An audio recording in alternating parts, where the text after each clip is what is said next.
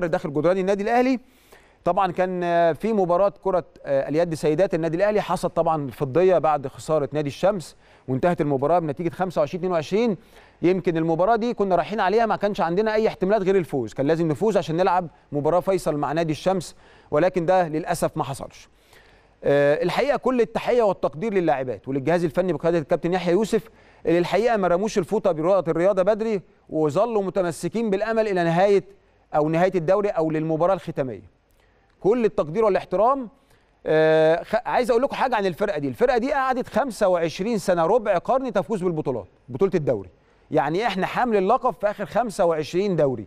أنتوا متخيلين يا جماعة؟ ربع قرن من الزمان هذا الفريق هو البطل. طبعا هتطلع ناس وتقول لك ده يعني كرة اليد سيدات خسروا ومش عارف إيه والكلام اللي بيتقال اللي إحنا بنسمعه في كل شيء. ولكن لما يبقى في فرقة واخدة الدوري 25 مرة وتخسروا موسم في تغيير لاعبين تغيير أجيال إصابات. الحقيقة ده يعني برضو لازم نربط على إيد اللاعبات. وبقول لكم إن شاء الله انتظروا الفريق ده السنة الجاية. كابتن يحيى يوسف صعد لاعبات كتير و... وفي لاعبات رجعوا لمستواهم. السنة الجاية بإذن الله الفريق ده بإذن الرحمن سيتوج ببطولة الدوري البطولة المفضلة ليه. خلينا نروح للخبر الثاني طبعا بيخص كرة